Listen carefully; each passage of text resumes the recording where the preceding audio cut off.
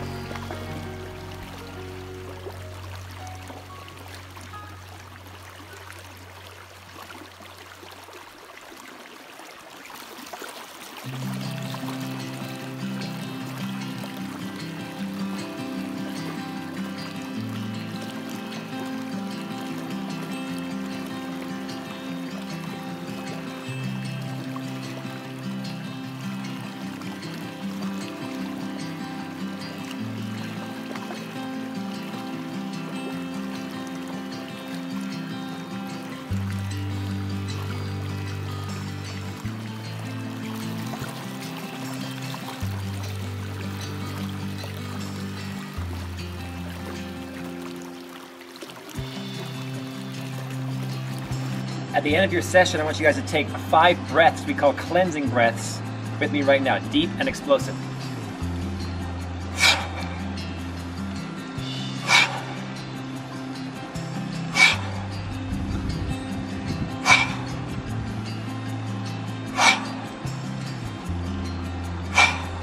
Tai Chi is all about oxygen, feeling the flow, using the legs and rooting the body into the earth and trying to get in a spot in nature that will supersize your practice.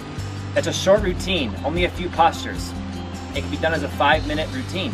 But right now I'm gonna edit this video to loop it three times in a row so you guys can stick with me, repeat the cycle three times in a row, and get a nice 15, 20 minute Tai Chi workout out of this video. Thanks for watching. Practice Tai Chi every day. It's what your man Jake Mace told you to do, and I'll see you guys back here for your next video.